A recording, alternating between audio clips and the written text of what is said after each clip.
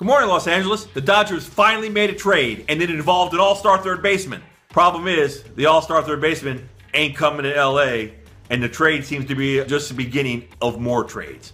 Hi, I'm Bill Plaschke, sports columnist, Los Angeles Times, and this is your wake up call. Dodgers finally woken their fans on Wednesday by trading three prospects for basically three prospects in a three way deal involving the Cincinnati Reds, Chicago White Sox. The big name in the deal, Todd Frazier, third baseman for the Reds, went to the White Sox. How come he didn't come to LA for the three prospects? Because the Dodgers are convinced that Justin Turner needs to stay at third base. They don't, because of his knee surgery, they don't need a third baseman right now. What they need is starting pitching, and they didn't get any frontline starting pitching in this deal. The three prospects they got, the two big names, Trayce Thompson, son of Mychal Thompson, brother of Klay Thompson, an athletic outfielder, and Frankie Montas, a over 100 mile an hour throwing young pitcher, minor league pitcher. Could be really good for the Dodgers one day. They traded away Scott Schebler, an outfielder, and one of the other ones is my favorite player in the deal. I hated to see him go, Jose Peraza, a really athletic, speedy, fastest guy in the team, second baseman. I thought he was the Dodgers second baseman for the future. Obviously not. So I guess they're still building for that future. I guess that they are stacking up, in my opinion, they're stacking up prospects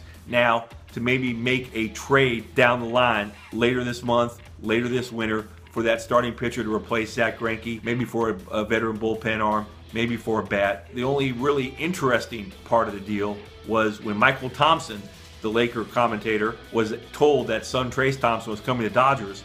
His first comment was, oh no, I get DirecTV, which means he won't be able to watch his son on television. Stan Kasten, this is your wake up call. You can read us at LATimes.com. Follow me on Twitter at Bill Plaschke. Have a great day.